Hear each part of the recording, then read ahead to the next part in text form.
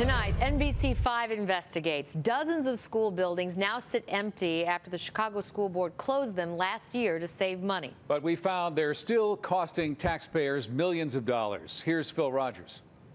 This is what's left of Betsy Ross School.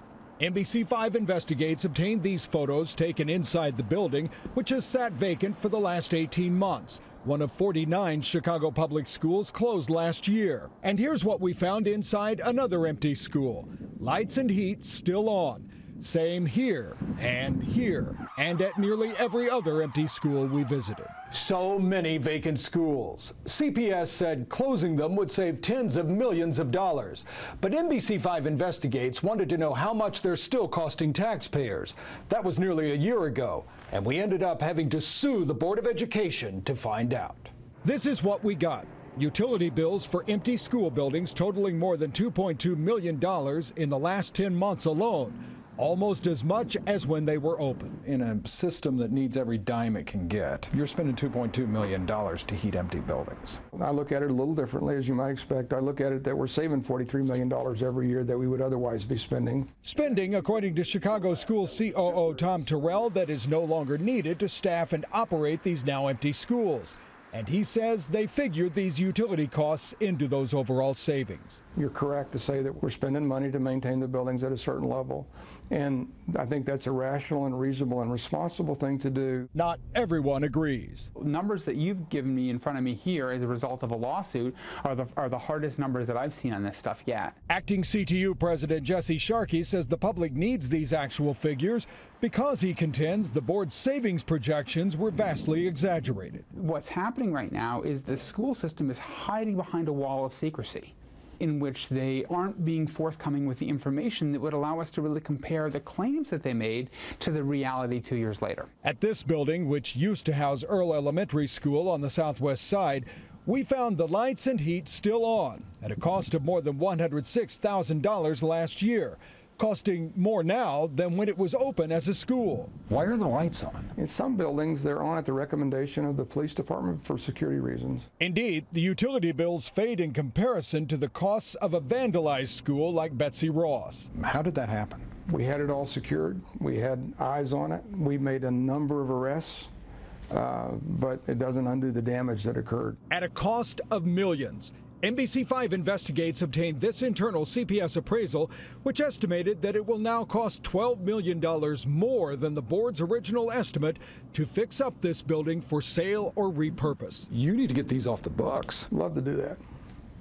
And we're doing it. You can check out the utility expenses for every vacant school by going to NBCChicago.com and clicking on the investigations page.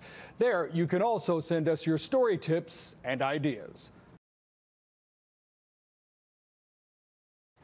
Tonight, an NBC5 investigates exclusive. Illinois law requires every school child to get vaccinated for measles, whooping cough, and other serious diseases. But we found tens of thousands of kids in the Chicago area may not be getting them, and that's creating a potential risk for every child.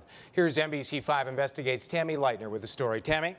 Rob, doctors say the higher the concentration of unvaccinated students in a school, the bigger the chance that any child in that school, even one who's been vaccinated, can get a serious illness. But NBC5 Investigates has found hundreds of Chicago area schools allowing alarming number of unprotected kids into their classrooms at levels considered unsafe by state and federal officials. And no one seems to be doing much about it. Is your daughter vaccinated, not vaccinated? Yes, she is. Charles David makes sure his 16 year old daughter Jessica is properly immunized, but she's in the minority at Schrum Memorial School in Calumet City. In fact, NBC5 Investigates has found that nearly 70% of students here were not vaccinated for one or more preventable diseases for the last two years. Wow, that's a lot. When the kids get sick, they recommend just keep them home as they were allowed to attend school without immunizations. Our investigation revealed one in 10 schools in the Chicago area falls below safe vaccination levels set by state and federal health officials. Some families say their kids can't be vaccinated because of medical reasons or religious beliefs. Other parents simply never bother to get their child shots. And often the school looks the other way. Does the system work? I would say no. Superintendent Deborah Benson took over Parkview Christian Academy in Yorkville six months ago.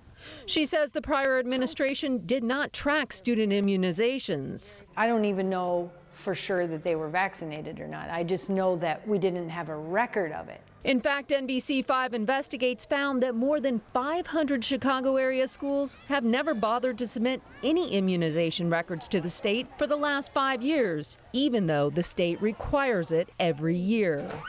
That means that a parent has no way of knowing how many of their child's classmates are unprotected from serious diseases. Do those schools face any type of penalty for not turning in the paperwork? We mostly work with them to try to get them in compliance. Mary Fergus says the State Board of Education can withhold state aid when schools are non-compliant, but she admits that has never happened. you want to do this one? Elgin mother Sherry Davis doesn't want her kids vaccinated, so she was granted a religious exemption by their school. The things that are in vaccines um, and how they're made, it's just not something that I want to put into my child's body. Are you in kindergarten or first grade? But for doctors like pediatrician Allison Bartlett, there is no gray area. These are very safe, and I don't want us to have to go back to having measles outbreaks killing kids and pregnant women having stillborn babies because of chickenpox because we decided that vaccines weren't important. Meanwhile, parents like Charles David are left feeling helpless,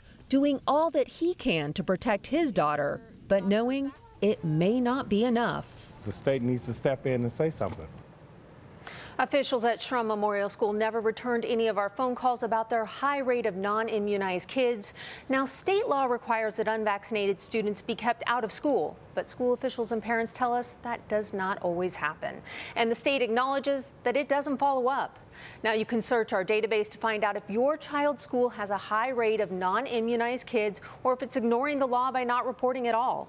Go to NBCChicago.com and search vaccinations. Tammy, I bet you're going to be hearing a lot from parents oh, out there. Yes, I'm sure. Tonight, NBC5 investigates missing reports of violent incidents in schools throughout the city and suburbs. If something happens at your child's school, the law says you're supposed to be able to find out about it. But NBC5 Investigates has found that is not the case for parents with children in hundreds of schools throughout the area. Here's Marion Brooks.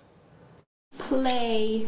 Paige is a six year old first grader whose mom wanted to make sure her school in Belvidere was safe. So she Googled it. I happened to come across some weapons incidences in a newspaper.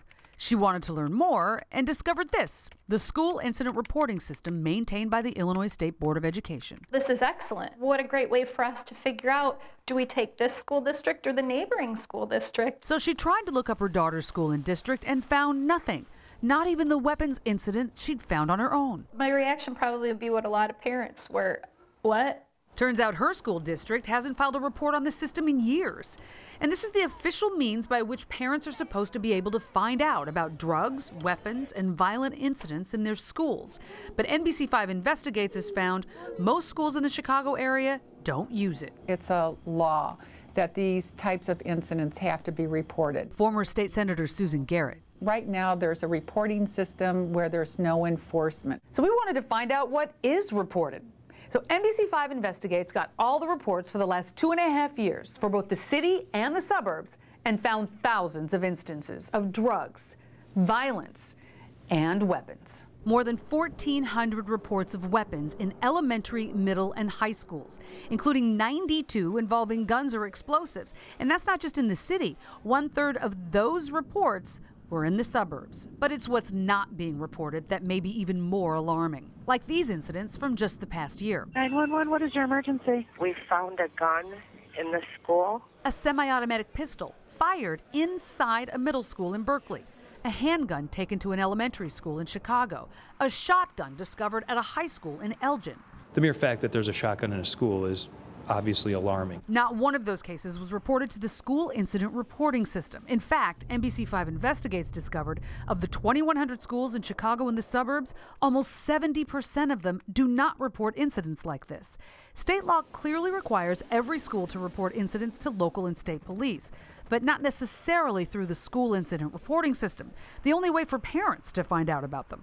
And that's why many parents like Allison, looking for incidents in their school, won't find anything. We should be strong enough and willing to share so we can fix these problems. In 2012, Garrett introduced a bill to clarify and strengthen the school incident reporting in the state, but it failed to pass. They should be able to do this. We're not talking about you know, after school programs. We're talking about some very dangerous issues. I want everybody to know about this. I want people to stand up for children, for their safety. We tried repeatedly to talk to the Belvidere school superintendent about how his district reports incidents, but he didn't return any of our calls. We've also compiled a list of which Chicago and suburban schools file reports to the state and which do not. To check up on your child's school, go to NBCChicago.com and click on the investigations page. Marion Brooks, NBC5 investigates. Tonight, NBC5 investigates the toxic dangers around your child's school. We have learned that dangerous chemicals are stored near schools all over the Chicago area. Schools that would have been evacuated in the event of a chemical disaster. Tonight, a tool to help you find if your school is in the range of a potential chemical disaster. Here's NBC5's Phil Rogers. April 17, 2013 as a fire rages at a fertilizer plant in the tiny community of West Texas. Dad, you okay? I can't hear. Come here. I can't hear. The facility erupts in a violent explosion. 15 people were killed, 160 injured. The West Intermediate School, just a half mile away, destroyed. And many believe West Texas should serve as a warning. If you're inside these vulnerability zones, you should be concerned. Vulnerability zones. That's the EPA's worst case scenario term for the areas around plants using what are known as extremely hazardous substances. After a chemical disaster at Union Carbide's Bhopal, India plant killed 2,500 people in 1984, the EPA focused on what it considered the most dangerous chemicals, requiring companies using them to submit detailed reports on what would happen if they got loose. You have to go to an EPA office to read those reports. But a Washington group, the Center for Effective Government, did just that. They read thousands of the reports and put them online. Here in Chicago, these are the vulnerability zones, and these are the schools that would have to be evacuated in the event of a disaster. In Chicago, there are about 1,300 schools and about 600,000 students that are inside vulnerability zones in the greater area. Take Ideal School in southwest suburban countryside. NBC5 Investigates has found that the school sits inside the vulnerability zones of seven different plants, including this one, where the zone stretches for an incredible 25 miles. Knowing is not enough. You have to really have a mechanism for acting. Rafael Moure-Eraso is chairman of the U.S. Chemical Safety Board, which investigates hundreds of chemical accidents every year. He calls the CEG's efforts to get this data out a good first step but says now citizens need to decide what they do with that information. What are we going to do to decrease the risk of vulnerable places? Like happened in West Texas, they built this school half a mile from the plant simply because the land was available. Indeed, here in north suburban Gurnee, Spaulding Elementary sits just six tenths of a mile from a plant which has a vulnerability zone of 10 miles, covering nearly 100 schools. Do you think it is incumbent upon schools to have a plan to get kids outside of these zones? Yeah, I do. Superintendent John Hutton said he had no idea about the zone his schools lie within and thinks it's time they prepared should the worst case scenario happen. Actually get on buses and move them to that part because the more you practice it, the more comfortable people are with the evacuation process, the better we'll be at it. You can find out if your school is in one or more of these vulnerability zones. We have an interactive map, and you can find it by going to NBCChicago.com and clicking on the investigations page. Phil Rogers, NBC5 Investigates.